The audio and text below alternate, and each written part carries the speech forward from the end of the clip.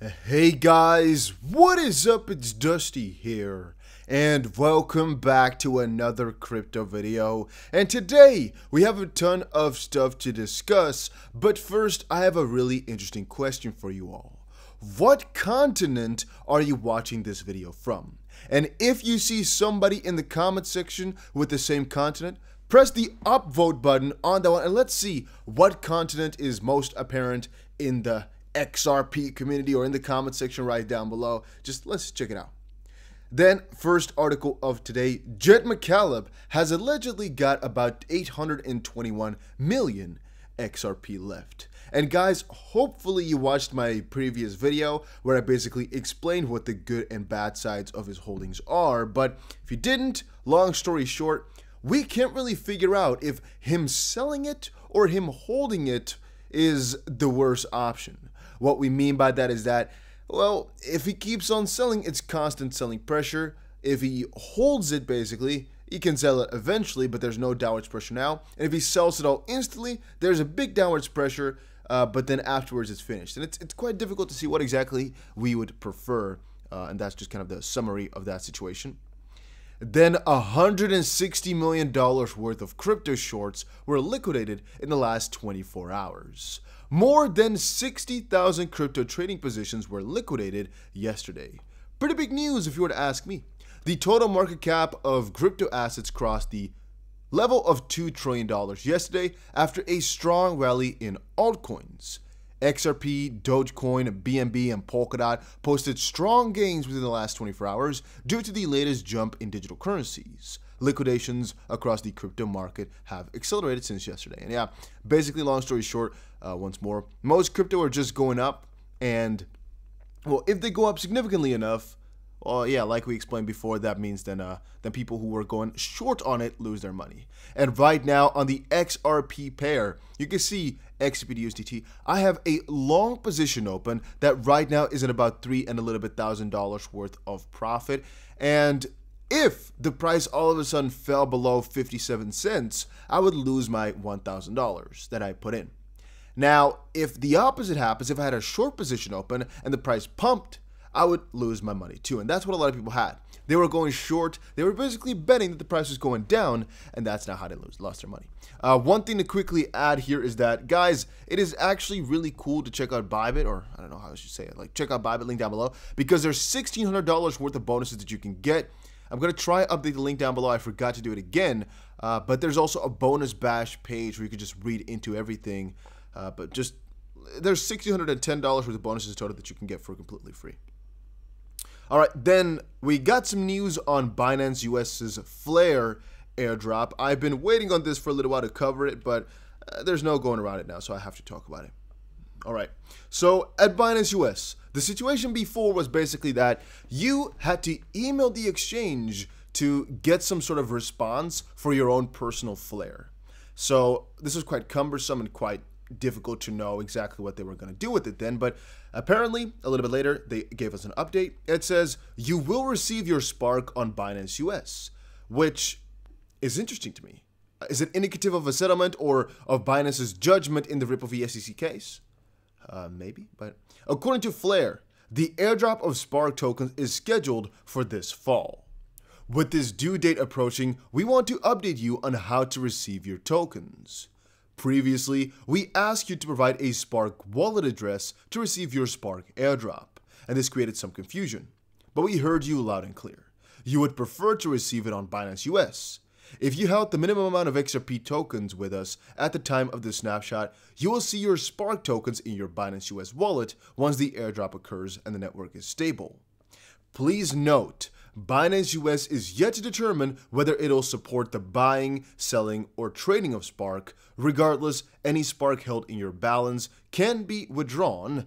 Your access and use of our services is subject to our terms of use, and the decision of Binance US in relation to any disputes you raise with the respect to this airdrop shall be final. You acknowledge and accept the risks of any changes to the digital currency protocols and agree that Binance US is not responsible for any such changes and not liable for any loss you may experience as a result of such changes. As a reminder, Binance US is no longer supporting XRP.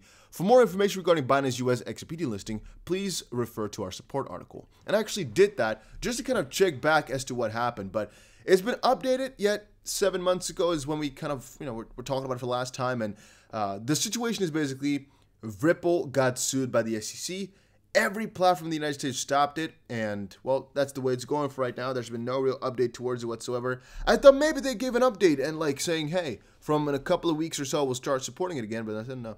The only thing I guess that they added to it is that the delisting will not do anything for the Spark token distribution. That's basically the update that they gave, I guess.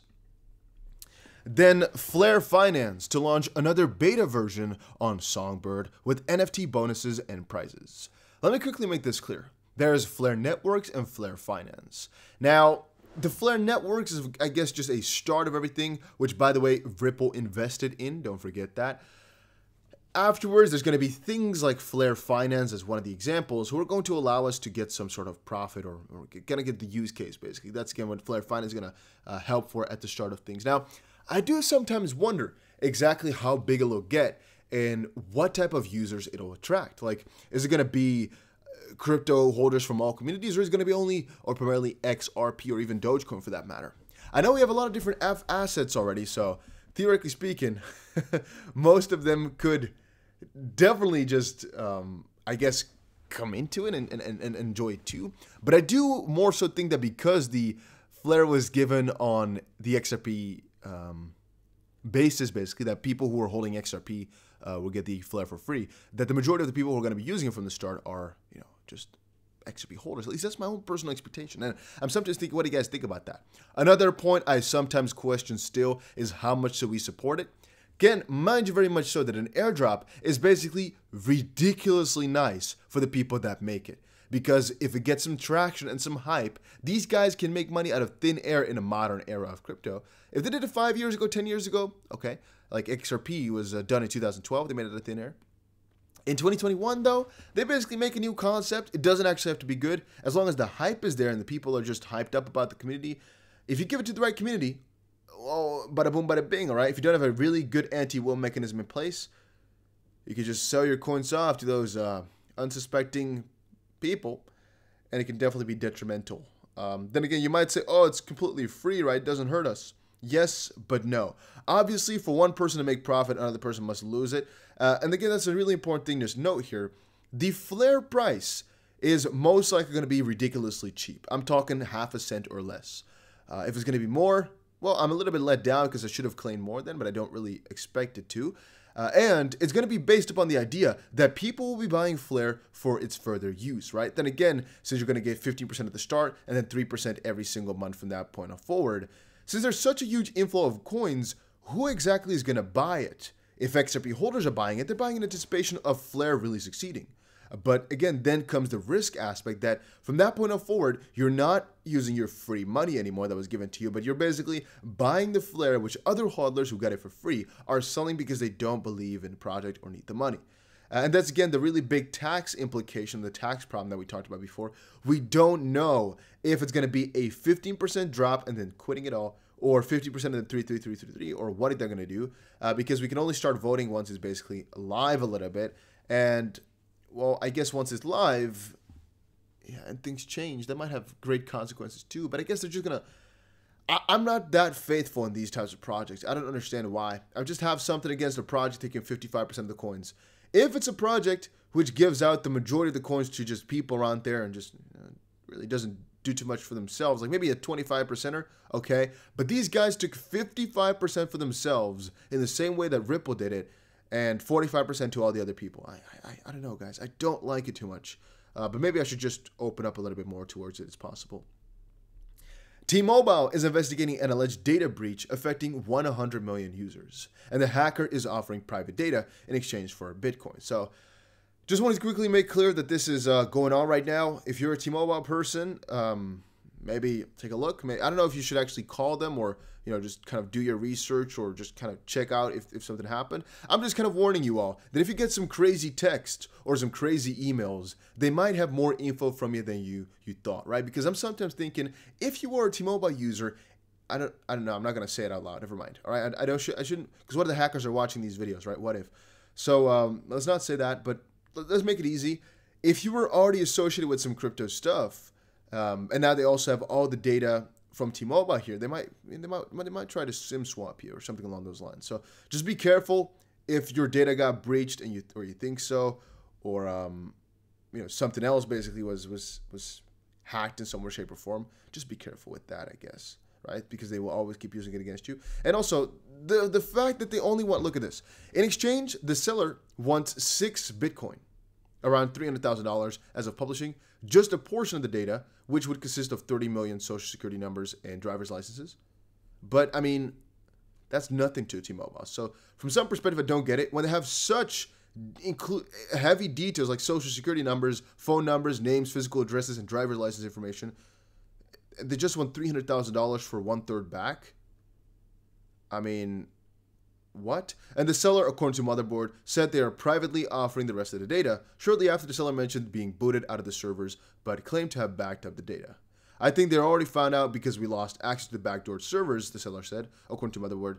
It's backed up in multiple places, and I, I do also get that. And at the end of things, even if you buy it all, right, they can always resell it once more and once more and once more. I guess it's just easy for um for T-Mobile then if they buy the $30 million to be able to notify those people. Then again, I don't know exactly how you would write a protocol that's going to write everybody like that with a good proper warning. So I mean, it's just a strange situation, man. It's just a strange one. And in the United States, the Biden administration said it is to ramp up efforts to trace cryptos used in cyber attacks and is planning to offer bounties up to $10 million for information to help catch these criminals. And that's actually something I was um, already having open in some of my tabs.